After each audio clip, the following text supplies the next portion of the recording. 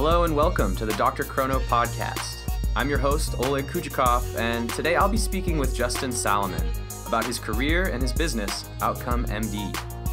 I really enjoyed this conversation because we touch on some really important topics to the healthcare industry. Those include following outcomes, how to ask patients the right questions, the benefits of tracking your clinical data, and gamification. We also discuss teamwork, and my dog gets his first shout out on the podcast. So, without any further ado, please enjoy my talk with Justin about how to build a better practice with modern technology. Today, I have the pleasure of welcoming on the podcast uh, Justin Saliman. Justin is a trained orthopedic surgeon uh, and a CEO and founder of OutcomeMD. Um, so, Justin, how's it going today? Good. Thank you for having me. Yeah, of course. So, first, I'd like to ask you a little bit about yourself. Um, can you tell me where you're from? Denver, originally. I live in LA now. Okay. And what was it like growing up in Denver? It's a great city. Uh, it's grown quite a bit since I left there, but um, good sports, food, people. Uh, it's a good spot skiing. Okay. So when did you know that you wanted to get into healthcare? I always had a sense um, that I wanted to do something altruistic, and uh, I was always interested in medicine. So I guess very early on wasn't one specific thing that steered me in that direction. I was also interested in business. I did an economics degree in undergrad plus biology, and um, wasn't sure. I was originally in the MD MBA program to do a little of both with that. Um, so always always a little bit of a torn person in terms of business or medicine. Hmm. So instead, I'm looking at the business of medicine. Okay. So um, you studied business for undergrad. Economics. Economics, sorry. Um, and then can you tell me about how you got into medical school? Yeah, uh, again, it came down to, for me, it was when I'm 80 and looking back on my life, I wanted to feel like I had made a difference. And it seemed to me at the time that medicine was the best way to ensure that outcome. And uh, so that's why I went for it. Okay. So, how did you start your business? So, uh, the, uh, the first business I started was shortly after fellowship. So, I did a fellowship up here at Stanford and a sports fellowship. And when I finished, I had some uh, ideas for ways to improve some of the things that we did in the rotator cuff for re- repair and, and in the meniscus uh, in the knee. And um, started a couple companies and ended up getting them combined into one, and uh, it was venture backed uh, in 2010. And that uh, is now Ceterix Orthopedics, which uh, the first device is a meniscus repair device. Sews the meniscus back together.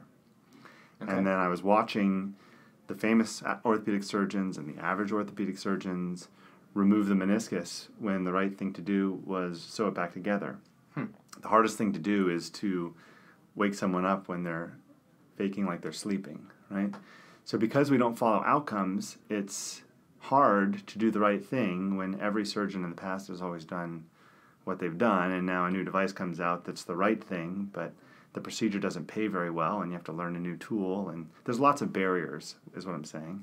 Okay. And if we followed outcomes uh, then then every doctor would be motivated to do the right thing. So that's sort of what kicked off my second company which uh, is OutcomeMD which i started three years ago.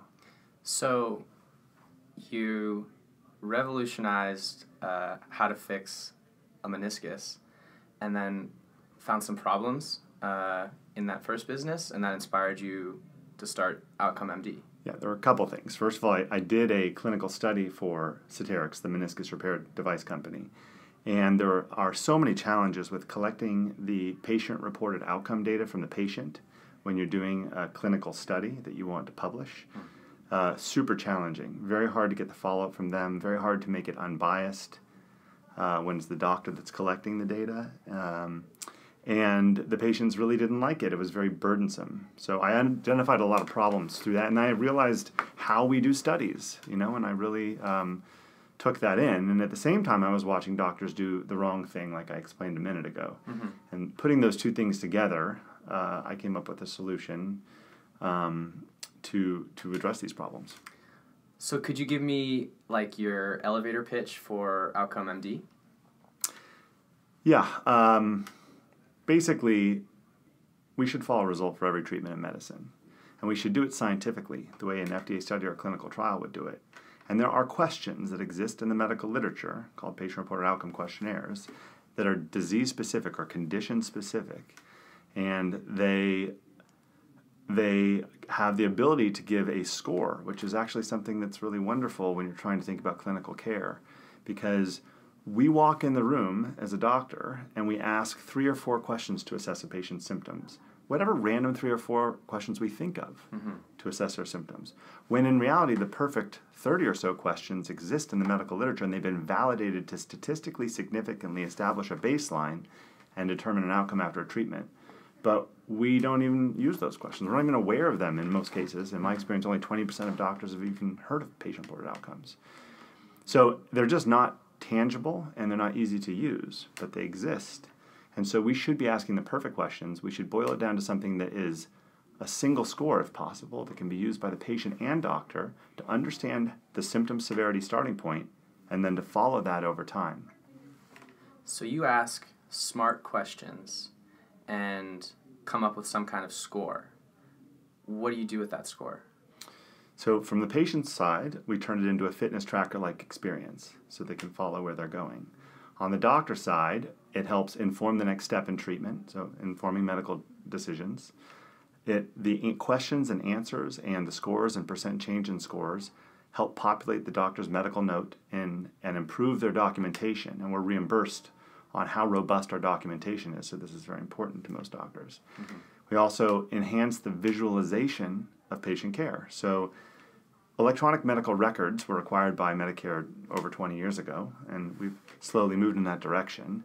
But they're not the best way to think about how to treat a patient. What we really need is an outcome management system. Hmm. So if we could go back and do it all over again, I think we would make outcome management systems instead of electronic medical record systems.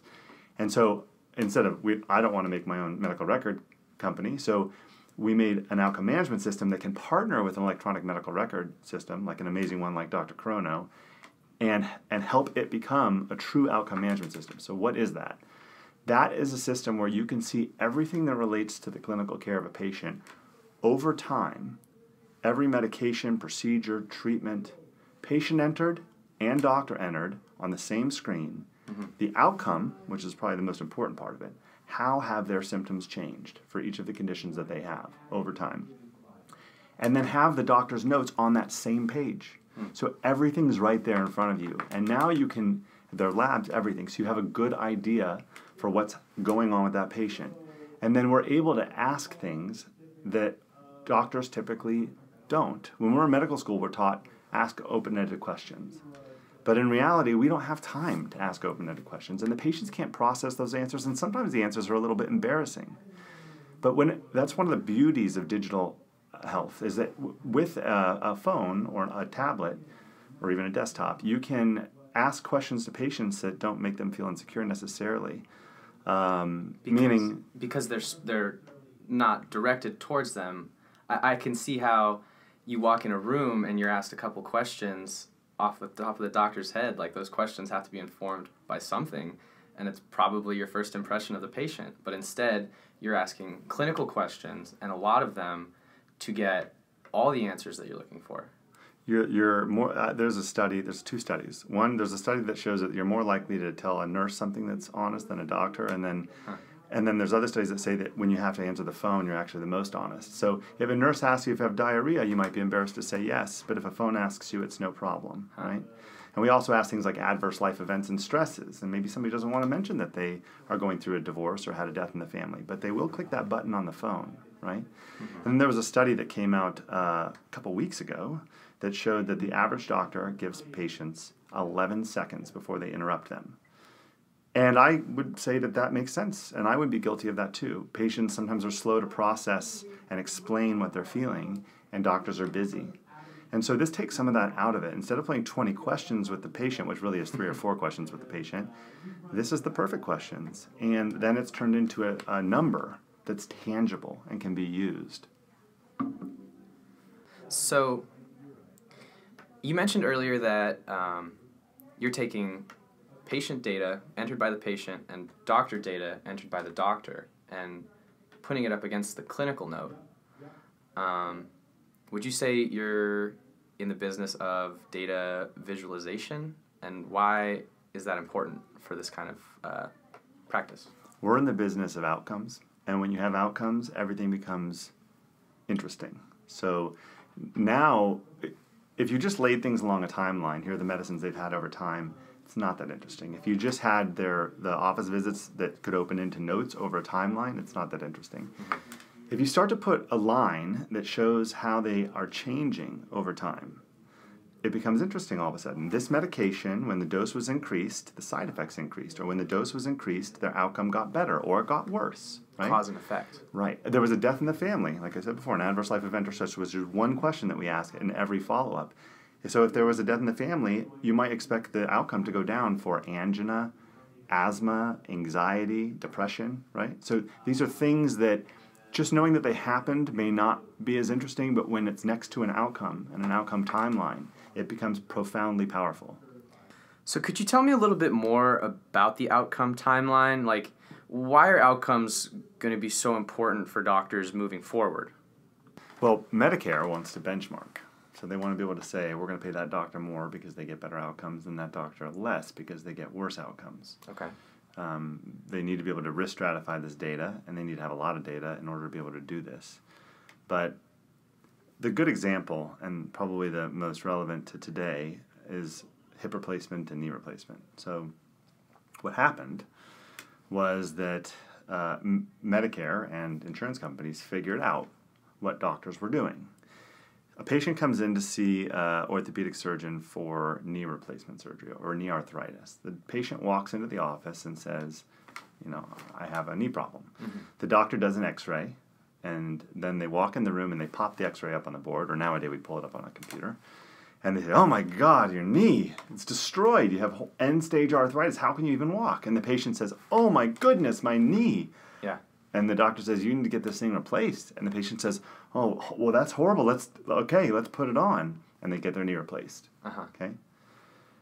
In reality, there's a large percentage of patients who have end-stage knee arthritis and do not have significant symptoms from it. It's a completely elective procedure. You can live with knee arthritis your whole life, and if it's not making you depressed and unhappy and immobile, you should never do a knee replacement. Right. Why insurance companies the are, and there's major complications from this procedure that can happen. If you need it and you're truly hurting, it's a great surgery. But if you don't need it, you shouldn't do it. Is yeah. the point? Yeah. So, the study showed that patient-reported outcome instruments, when they're used on these patients, um, can basically help you decide which ones should have surgery and which ones should not. So what I do in my office is I walk in the room and I say your knee looks really arthritic, for example, and your patient reported outcome score is a 90, mm-hmm. which is 100 is your best, right? Mm-hmm, mm-hmm. And uh, and so and I say, it, you know, you're not having that many symptoms from this, and the patient says, you know, you're right, thanks. They were coming in to make sure everything was okay, mm-hmm. and I could give them that reassurance, right? Now, similarly, sometimes it happens. And so instead of talking that 90 into surgery, I talked them out of it and made them comfortable, mm-hmm. knowing that there's nothing dangerous going on. Similarly, sometimes you have a patient come in and let's say their score is a 15 and they're it's really affecting their life, but they're terrified of the idea of surgery. Yeah. I pop up their x-ray and I say, look, you know, it's pretty arthritic in there. And then uh, the question is, should they have surgery or not? And then I pull up the scores. And I said, look, your score's a 15. Like this is this is kind of affecting you. It's probably making you upset. And then I can read the questions and answers, which are color coded in DrChrono. The negative answers come up red, so it's really easy to see what the trouble areas are. Mm-hmm. And as you do that with a patient, like you know what, you're right. This this really is affecting me, and it's bringing me down and ruining my quality of life. Okay, let's do it. Without the number, it's very hard to have that conversation because I don't have time to ask 30 questions and I haven't memorized the perfect 30 questions, right? Numbers don't lie. Um, my favorite subject in high school was math.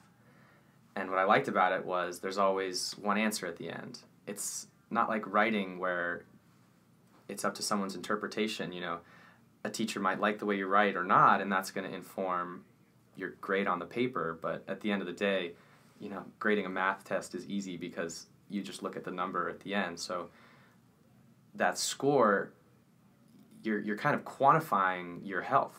I agree with you. And it's scientific. So we consider ourselves in America, Western medicine, of course. And Western medicine means we obey the medical literature and we do things that are literature proven, scientifically proven, that have the right p value, right? Right. Uh, statistically significantly the right thing to do. Well, we should be assessing every patient that way, but we also should be assessing them in a way that is undeniable. And so when you're asking questions that have using questions that have been validated, you are being true to um, the medical literature, you're being true to Western medicine. You're being scientific. So I want to ask you: Does like a patient's um, medical history or body type go into those smart questions? Event, so um, the answer to that is is no. They're made so that any patient, no matter their age or, or gender or um, anything, can can actually take them. Okay. Now, um, now those factors are important, and the eventual future of what we're building, and it's not too far off, Mm. is that a patient will walk in the room and sit in front of a doctor, and the doctor will be able to run a quick study on patients phenotypically identical to the one sitting in front of them, Mhm. meaning same age, body mass index, race, medical comorbidities, medication profile, zip code. How do patients just like the one sitting in front of me do on drug A versus drug B? And the one thing that we also have in addition to that stuff is their symptom severity score, their patient reported outcome score. Put all those factors in. So show me how patients, just like the patient sitting in front of me, do on, on treatment one versus treatment two. And it can plot out de identified patients from the entire OutcomeMD database. And now you have a rough idea of which treatment might be better for this specific patient. It's incredibly powerful. So now we're getting into data and the power of data. Um, it sounds like what you're saying is the longer OutcomeMD is around and the more patient data you get, the the better quality um, healthcare it's going to provide. It's a network effect. So you know, the first telephone was pretty worthless, and then when two people had a phone, it was still relatively worthless. Now it's doing something at Yeah, least. but now, but yeah, but and then as more and more people have telephones, it becomes really important. And as we have more and more of this data, it's going to become more and more impactful. Hmm. The cures sit somewhere between the electronic medical record data and the correlation algorithms. But what's missing? The outcome. The outcome is everything. Okay. So, next I want to ask you um, kind of about putting a score um, onto your healthcare. Um, it's actually really funny. Around my house uh, recently, the thing going around the house is uh, how many miles has my dog walked? My dad got this tag that goes on his collar, and it counts your steps and miles. So now every morning I'm hearing, "Oh, that darn bandit! He's at six miles already. We got to get out there with uh, with with Hank, our dog, and uh, and it and it pushes. I mean, healthy kind of lifestyle habits onto our family. You know, not only is Hank getting more walking, but so is so so are we. Um, so, what do you think about like the gamification of like a healthcare technology? Uh, I love it, and I think that that is the future. So it's gamification for the doctor to actually be able to see what's working and what's not working. Mhm. It's gamification for the patient to do the same thing, but also as they participate, there can be rewards Uh-huh. and eventually maybe reduce insurance premiums. Huh. Because as they engage in their own health, they reduce readmissions, they reduce complications, and they reduce costs to the insurance companies. Um, and now that that um, relationship where you mentioned earlier, uh, you're you're getting interrupted after 11 seconds. It's kind of a one way street. You're you're taking that into your own hands as both the patient and the doctor, and now you're both kind of on a team to get healthy. That's the idea. In fact, Michael Porter wrote a book in 2006 called Redefining Healthcare, and in that he's a competition theorist, right? That's that's what he does. at Right. HBS. Right. And um, and basically the punchline of the book was that we should be following outcomes and And if we did, then then we would probably go from one of the rougher systems out that's out there to one of the best uh, pretty quickly. It always got me that you know when you talk to people in America, they are really proud of NASA, mm-hmm. you know, um, but they're not that proud of their of medicine here, and they're confused because what they're not proud of is the healthcare system as a whole, and it's mostly because we don't compete properly, doctors. But we have some of the best medicine in the world, and arguably the best medicine in the world. People fly from all over the world to come here. We crank out the most clinical studies, and uh, um, so basically, you know, I, I, we should be proud of, of what we have here. We should just fix the system, but you know, we are a capitalistic society, and so the right way to fix a system is to enable outcome-based competition. So you think competition is going to push improvements in healthcare? Yeah, well, I think that's what Medicare wants to do too. That is what MACRA MIPS is is signaling that they're headed towards patient-reported outcomes, satisfying that over time. Now, it's not going to happen today um, because there aren't enough uh, tools that are making this realistic, and because typically patient-reported outcome instruments are really burdensome to the patient. Nobody wants to fill out another survey, right? Yeah. So we have to turn that around and flip it on its head. That's what OutcomeMD is doing. Okay. So next, I want to ask you about your partnership with DrChrono.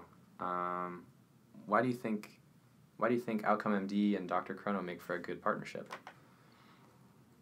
Well, let me start out by um, telling you what doctors do, and all patients can relate to this. A doctor sits in front of the keyboard and types as they ask patients questions. There's very little eye contact these days because we have to enter this stuff. I almost said crap, but um, some, I mean, some of it, uh, we have to enter this into the electronic medical record, right? And uh, it's documentation, and we can get audited if it's not in there right, and then we lose a bunch of money. So, not necessarily always about patient care, and it's about reminding us what happened last time, which is about patient care. But DrChrono um, is an EHR that's pretty focused on making that easier, it seems, on the doctor. It's very iPad based, and there's some stuff the patient can put in for the doctor. Um, uh, that's been a, a, bit of a focus. So we take that to the next level. And the patient reported outcome data and all the associated questions that we ask, which we ask questions on patient compliance with the doctor's treatment plan. Like I said before, adverse life events and stresses. We're working on getting medication side effects in there because um, we know what medicines they're on because they're in the EHR and we can ask them these questions. Um, uh, and all the answers to the patient reported outcome questions. Uh, this all makes for the perfect history present illness. What's the perfect history present illness? It's the perfect questions about the patient's symptoms and the patient's answers to those perfect questions. That's the perfect history present illness, right? And, and now and, you can go back and, and understand it. Yeah, well, yes, and also it's documented, right? So now we push that straight into the doctor's note in Chrono. Mm-hmm. Um, and so the beauty here is the doctor doesn't have to type all this stuff in, it's sitting there. And Medicare is requiring medical decision making data. Like, how did, what data did you use in order to make your medical decision? And show us how robust it was. Because if you bill at a high level of service, we're going to go back when we audit you and look to make sure that you documented all the data that you used to make your medical decision. And that is the patient reported outcome scores, the percent change in those scores since the first time they took them, the percent change since the last time they took them, the, um, pa- the patient compliance with the doctor's treatment plan, like I said, the side effects. All this stuff goes into the medical decision making data section, which is basically part of the assessment. We can also get the review of systems and two easy questions from the patient and the chief complaint, which DrChrono actually does a decent job doing that even before us. Mm-hmm. And then we color code things. So it makes for a beautiful note. And many doctors do care about having a beautiful note, especially doctors who are referring to other doctors because they read each other's notes. And it's nice to have an attractive looking note. The other advantage of the color coding is we can pull it out. If there's a positive review of system, it's featured red. If there's a symptom that's significant, it's featured red. Um, and uh, it makes it a more useful tool, honestly. You can actually use the note now that's already been pre-populated with basically everything except for the physical exam. You can use the note to help guide you through discussion with the question with the patient about what to do and what's going on. So tell me a little bit more like about the history of documentation. Um, When does that typically happen in the day for the doctor, and what makes it difficult with uh, how things are right now? We usually try to cram it in during the patient visit because there's nothing worse than seeing 30 patients and then at the end of the day having to go write 30 notes and trying to remember those 30 patients. Right. Uh, so while we're sitting in front of the patient, we peck away with our fingers on the keyboard to try and get this stuff in uh, in a way that we can bill at a level of service and have adequate documentation in the electronic medical record to defend us if we get audited. And also so that when we come back the next time, we can figure out what was going on with that patient the last time I saw them, right? Yeah. And so that's where I love the timeline view is you can very quickly understand what's going on with that patient. And if you want to open the note, it's right there in the same space. So typically documentation happens in the appointment and this doctor patient which is a negative thing. It's very distracting. Right but the pressure is on you to get it right because you could get audited potentially and this data needs to get in. It's not like you can see all your patients and then do it after the fact like really accurately unless it's hard to do it accurately and it's hard it takes two hours. So if you see 30 patients in a day and you want to go write your notes afterwards you're staying in the office for two more hours to try and do it. And uh, probably all doctors at some point in their career have tried that. It is, it will suck the life out of you. it's right. just not fun. Right. That's on top of your workday yeah. and travel, and now so, you're adding another. And you can't remember, right? So you're sitting in front of them. That's the time to capture the information, mm-hmm. right?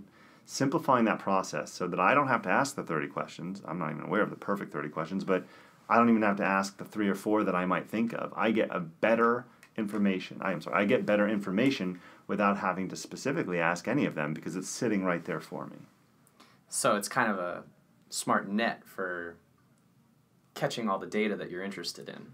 Yes, and and it's better. Honestly, it takes what would have taken an hour long visit. Now you can do it in 15 minutes, and it's, it's better, right? Yeah. But instead of we don't take the hour visit, we do 15 minute visit in 15 minutes even though probably in order to do a good job of figuring out what's going on with that patient, it would take us an hour.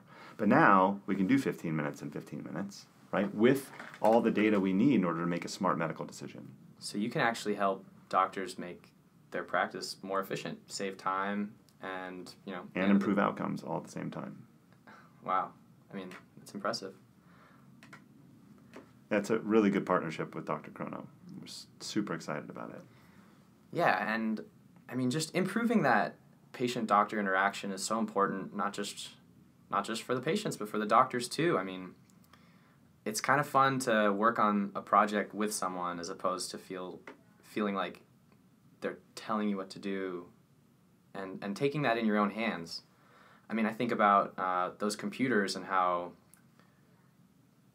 how kind of foreign they are. They're typically big and old and sitting on a cart and the doctor does have to turn away from you and and it's just not a comfortable experience. You know, uh, while while you're typing away, I'm thinking, what, what's he talking about? It seems right now when you're in the room with the doctor, like they just want to get through it and get it all documented. With OutcomeMD, they feel like a team, like literally a team, because yeah. there's more eye contact between the doctor and the patient, and the doctor can refer to the scores and the the red elements in the note to help identify with the patient. So sometimes I'll look at one score called pain interference. It's a National Institutes of Health questionnaire that has computer adaptive testing. It's really cool. Um, but it shows how much the pain is interfering with their activities that they like to do.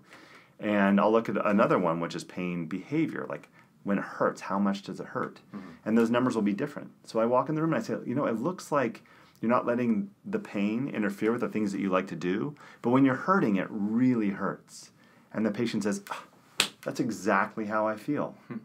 And that that being able to identify with them, it's almost like you went into their brain and read their mind, and they feel very connected to you.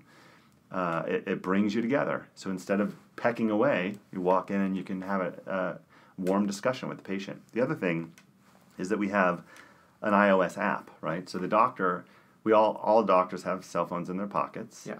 And before you walk in the room, uh, you can do Face ID or Touch ID and look at the patient's score. So and scroll through the answer. So you don't even have to get to the computer to be able to know what's going on with them. Hmm. And DrChrono has a nice, you know, integration with iPads, and the same is true for that.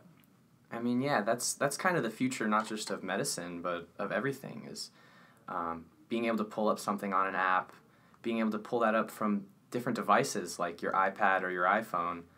I mean, I, I love the simplicity of the Note app, how I can write something on my phone and then it, it, goes into the cloud and then it's immediately on my iPad and on my laptop. And then I'm not limited by, you know, oh, where's my phone? I can I can get an idea on my laptop and then log that there. So connecting these technologies is so important and it's so the future of not just healthcare again, but you know, future of technology. Yeah. And there's there's lots of power in that. Um, so I wanted to ask you. This is gonna be probably my last question. Um, you're talking about teamwork and the importance of teamwork between the patient and the doctor, but you mentioned you did a sports fellowship. So I imagine you've seen like sports and, and like the power of it and even competition.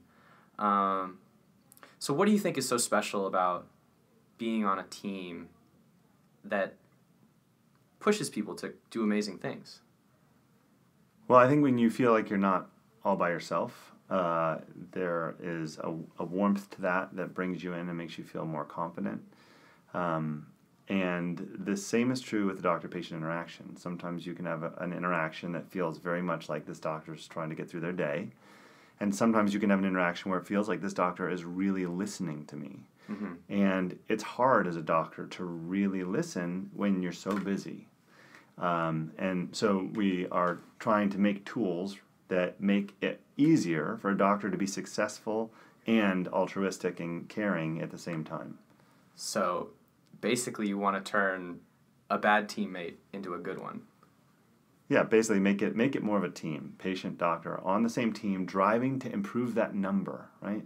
Simplify it also. It's like, you know, there's a game. When you have a game, you either win or lose. It's pretty simple, right? Yeah. So so but with medicine it's all vague. It's not all, but it's a lot of it's very vague. Mm-hmm. And so um, you know, the doctor might think that patient did great, and the patient might be thinking, I think I did terrible, or vice versa. You're not on the same and, page. And you're not on the same page because you have different, you know, I'll tell you what happens is a patient comes back to see, let's just use me, let's say. Sure.